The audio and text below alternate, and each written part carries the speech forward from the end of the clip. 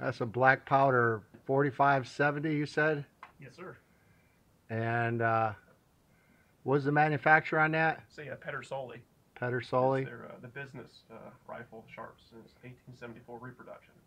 Okay, is that the rifle that uh, Quigley shot in Down Under? Pretty close to it. Is it? Pretty yeah. It. Awesome. How long you been shooting it? Uh, this one a little over a year. Okay. Now, um, have you shot it? You're shooting that out to 200 yards right now. That's correct. Yes, How are you doing? Uh, she's doing uh, decently. Uh, Yeah. Looks like about a four or five inch group. Five Okay. the moment, so. And what's the longest you shot it out?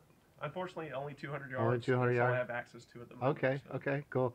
There's a uh, range over in Graham that goes out to 300 yards, and then they have an 800 yard range as well. That'd be a lot of fun. But you have to qualify to shoot on the 800 hour, 800 yard range. oh, really?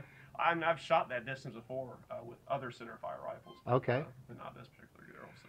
All right. I'm uh, uh, my name's Pastor Larry, and uh, I got a YouTube channel called Larry's Life Adventures, and that's where I'm going to post your video. So Okay, if you want to look it up, I'm uh, Kent Grayson Jr. So your sir, Kent Grayson Jr. Grayson Jr. Kent Grayson Jr. Well, it was a pleasure to meet you.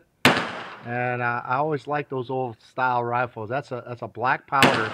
You reload those uh, shells. Can we look at one of those buggers? Sure. Look at that. Yeah, say a 500 grain 500 grain. using a lead uh, cast. Yeah, it's about 60 grains of uh, one and a half. Now, if you had to buy those commercially, what do they cost a piece? Ooh. Um, well, one thing you can't even get the black powder, uh, powder rounds commercially, but Oh, okay. um, it, smokeless rounds uh, they're about almost two to three dollars a piece. Wow. Can you shoot smokeless through that, or you prefer not to? Yep. You can. Okay. Now, when you do a smokeless, you have to reduce the loads uh, due to the falling block mechanism. Okay. It can't withstand the same pressures as the uh, modern rifles can. Right. So you have to make them so they're close to the. Now with Very black cool. powder, you can uh, fill the cartridge basically all the way up. and Wow. compress it a little bit, uh, but with the smokeless, they it burns um, at a different rate.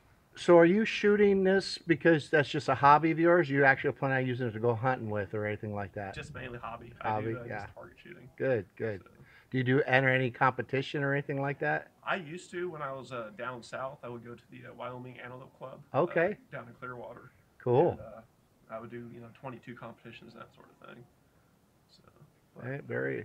You wanna you wanna hold that rifle for me? Let me get a frontal shot of that thing. That's a that's a pretty big. rifle. How tall are you? Uh, I'm about six foot two. Okay, So- same height, but look at a big old rifle there. Golly. she's got a, a 32 inch. And they use those for hunting buffalo, didn't they? Yes. Yeah, Out to a thousand yards. up to a thousand yards. That's a sweet rifle. All right, Kent, I appreciate your time. All right, hope Thank to thank see you out there again, and uh, thanks for letting me take a video. Yes, sir. All right.